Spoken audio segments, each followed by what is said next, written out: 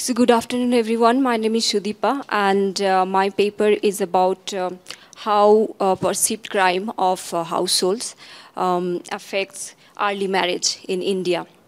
So as Kunal mentioned, this is also part of this project, Women's Work. Um, okay. So, um, so the objective is, as I mentioned, to look at how perception of crime in the locality uh, where the households live uh, impacts the decision to marry the uh, daughters and as well as the um, sons of the households because this is uh, particularly because uh, in India, um, more than 80% of marriages are organized, arranged by the family. Um, yeah, so, so that's why in, the, in that context, it's very important to look at it.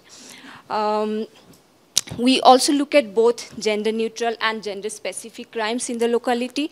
So we have information on um, whether there is theft in the locality, uh, robbery, attack, or uh, any kind of harassment, uh, uh gender specific harassment. Uh, so these are reported by the household, so that's what we use. And we also explore the channels through which this relationship may hold. Uh, okay, so just to give you a little bit of background, I think that um, the importance of early marriage, why it's important, I don't have to motivate it. Um, the, the, the, keynote speaker also has mentioned it. Um, Kunal has mentioned it in terms of the importance of it in, um, in terms of, uh, in the context of women's labor force participation. So uh, I would just mention, um, if we look at the incidence of child marriage, then um, around half of the child bride uh, live in uh, South Asia. And when we look at India, despite several efforts made by national and international agencies, um, early marriage remains uh, pervasive. If you look at the um, statistics, 27% in 2015-16 uh, were married uh, girls uh, were married before um, the legal age, age, of marriage, which is 18. Um, well, it has increased now, but when I did this study, it was 18. And uh, when we look at the recent data from 2019 and 21, it's 23%. So it has, the reduction is really about uh, four uh, percentage point. Um, and when we look at age at marriage, I mean, there's a lot of um, uh, policies across India, uh, which are uh, basically um, giving incentives to the parents so that they keep uh, cash transfer to parents so that they keep their daughters uh, in school um, and automatically there will be a reduction in age at marriage. But uh, despite all that, when we look at age at marriage in India, it's, um, um, it's actually increasing slowly, like one year per decade. Um, so that's the progress. Um, so yeah, so, so in this context, I think that it's important to look at different factors that are um, that are important for aged marriage and uh, child marriage. So uh, looking at the literature, there is a huge literature on child marriage, early marriage, generally focusing on uh, girls, girl-child marriage, because uh, even though there is uh, child marriage for uh, men as well, but I think the literature has mostly focused on women because I think the consequences are more serious for women. Um, yeah, so just to summarize, um, I have just um, categorized the literature into two uh, broad categories, like one looking at the determinants of early marriage and the, uh, the other looking at the consequences. So if we look at the determinants, the researchers have highlighted household poverty, parental education, um, access to opportunities. So these are mostly relevant for um, early marriage of girls. And when we look at consequences, um, early and teenage marriage are found to be associated with uh, poor uh, human capital formation because um, in most of the countries they have found that early marriage leads to school dropout, which that means that there will be poor human capital formation and uh, which in turn affect the labor market uh, outcome of uh, the women. And uh, it's also found to be associated with uh, child health and uh, maternal health. So, because early marriage generally uh, leads to early pregnancies, and um, which has adverse consequence on um, child health as well as maternal health. Um, so it's also found to be associated with high rates of domestic violence because the girls who are married um, at a tender age, they have um, lower agency, bargaining power. So yeah, so it's uh, so that's why it's found to be highly associated with domestic violence. Um, okay, so what is missing in the literature is that, so uh, most of these papers, they have uh, pointed out about the role of safety, uh, safety co concern. I think before uh, the um, pre-lunch session, we had a paper where uh, the researcher has mentioned about um, safety concern and women's labor force participation. So in this literature as well, they have mentioned about um, how uh, women's safety concern and uh, the value the uh, society places on women's chastity uh, may play a role um, in deciding the um, uh, um, age of marriage of women. But um, if you look at empirical evidence, it's not, it's uh, mostly missing. So it's generally a conjecture. So we don't have any empirical studies um, giving evidence. So that's where I try to pitch in my study. Uh, that's where my contribution is.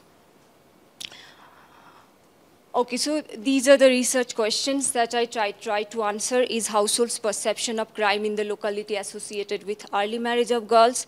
Um, we estimate this relationship for adolescent girls who were 12 to 16 year in the baseline. Um, we also look at different gender-neutral crimes, how um, whether they have any impact. Uh, does it uh, dis disproportionately hurt young women than men of comparable age groups? So we also look at, um, we take a sample of boys who are 15 to 19 year old so that they are comparable with the girls. Uh, what are the, then we look at the mechanisms or channel behind the link between early marriage of girls and crime against women in the locality. Um, Okay, so how do we answer these questions? So we use a panel data from India Human Development Survey. It's a nationally representative survey of 41,000 households and around 215,000 individuals coming from all over India. And it has collected information on the same individuals and households in uh, to, uh, 2004-5 and 2011-12. Um, and this uh, panel element allows us to look at crime against women in 2004-5 and to um, look at the um, outcome variables, observed outcome variables in 2011-12. Uh, and uh, we also use, um, um, so, so, so because of uh, I should mention this because of local residence system in India, uh, generally what happens when you have a panel survey, uh, in the follow-up round, the, um, the women who are married, uh, they drop out of the sample because they move to a different households. But uh, in this survey, they have a tracking schedule, so through which they have tracked most of the women, and they have collected information on their um, marriages and um, um, the migration status, where they live and all that. So I use that information. Um, yeah, so you, I use information on crime against women in the neighborhood collected from households and use age at marriage to define early marriage or child marriage for adolescent girls aged 12 to 16 at baseline and unmarried. Uh, so this is the sample, just to uh, summarize, the final sample is uh, 12,000 uh, uh, female and around 11,000 male. And um, mm, when we look at the, like I said, if you look at the migration, so uh, more females migrated between rounds than males, but around 72% were tracked by the surveyors. Okay, so the, these are my main variables. The dependent variable is married between round and early marriage. So it's uh, just 101 if marital status is 2012 in um, uh, is, is married and uh, marital status in 2012 is unmarried uh, equal to zero. Uh, we define early marriage as one if age at marriage is less than legal age, 18 for girls and 21 for boys, and zero if it is greater than equal to uh, legal age or unmarried. Um, so our main ex explanatory variable is crime against women reported by households at baseline. So the questions they, they were asked, how often are unmarried girls harassed in your village neighborhood? Um, which is coded as zero for never and one for oftener sometimes. So we just, we define it at neighborhood level by looking at um, the percentage of households who said yes um, oftener sometimes.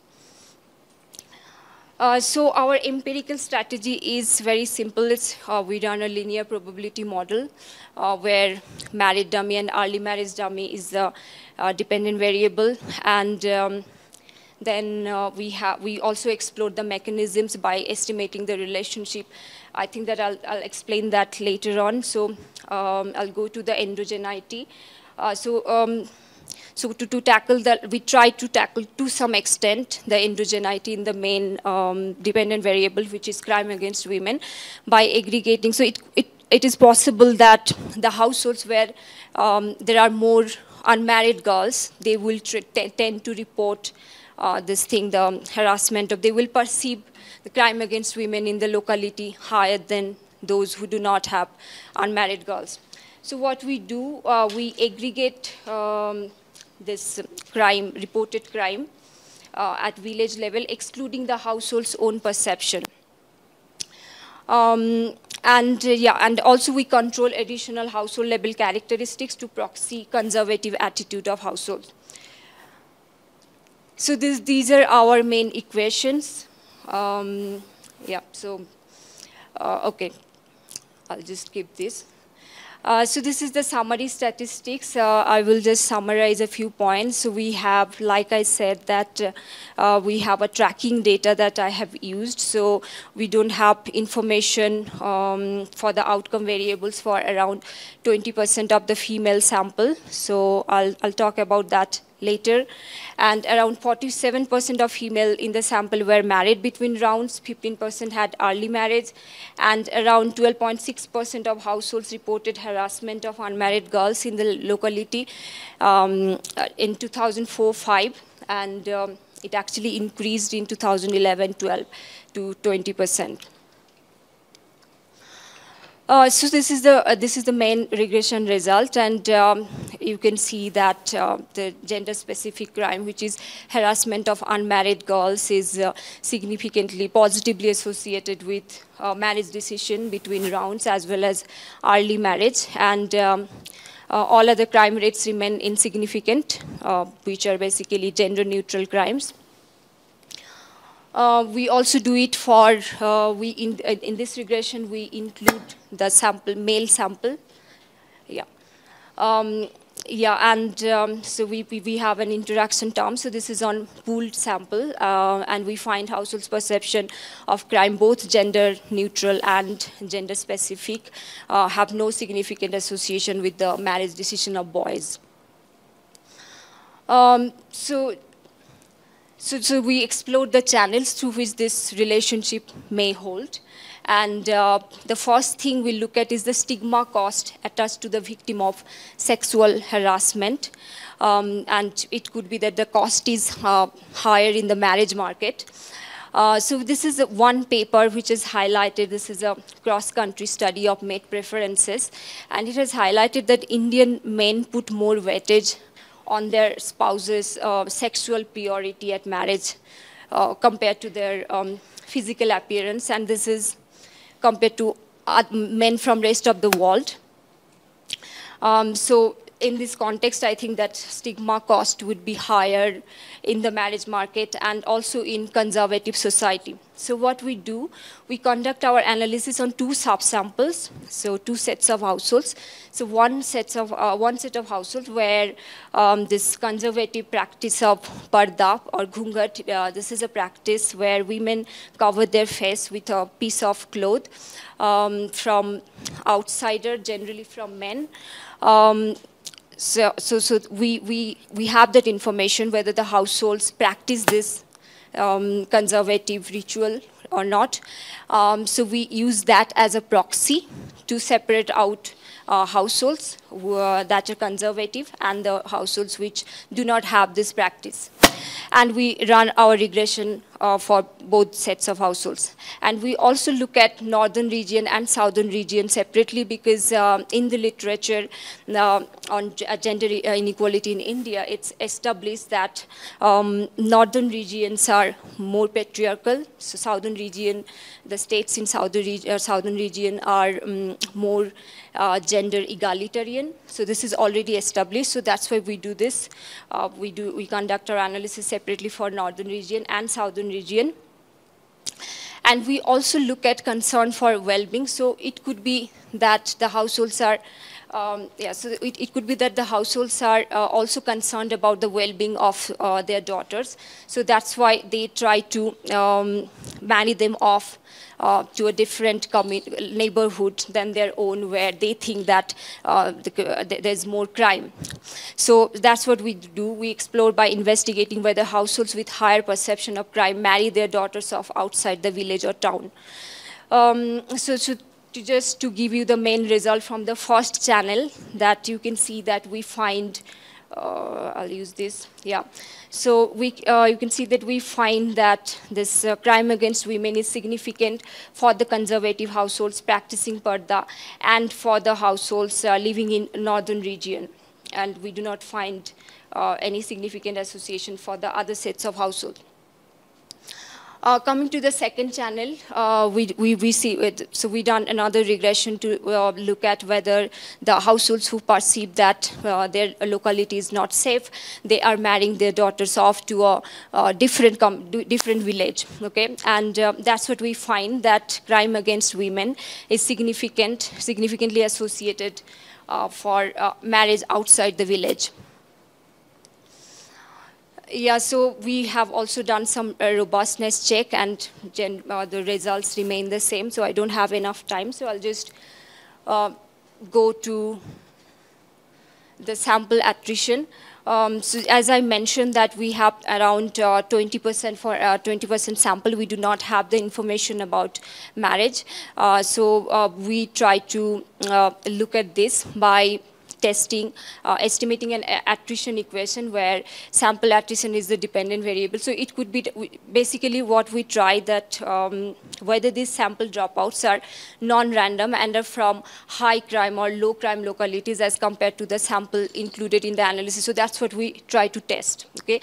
Um, so we just run um, an attrition equation where sample attrition is the dependent variable, and we regress it in on, on all the explanatory factors that are included in our main regression. And the, uh, the results show that none of the crime variables is significant, so we just this, we, we, we, we, take it that probably it's unlikely that the, uh, there is selection based on crime. Yeah, so I will just conclude. So what we find, we find that households' perception about crime against women significantly increases the likelihood of marriage and early marriage of young girls, and we do not find any link between perceived crime in the locality and the marriage decision of young boys. And uh, we also do not find any link between perception of other gender-neutral crimes, such as robbery and theft. Um, so when we, we look at the mechanisms, um, it suggests that this relationship depends on the extent to which the conservative gender norms are practiced and female chastity is valued uh, in, the, in the society. Uh, okay, so I'll just stop here.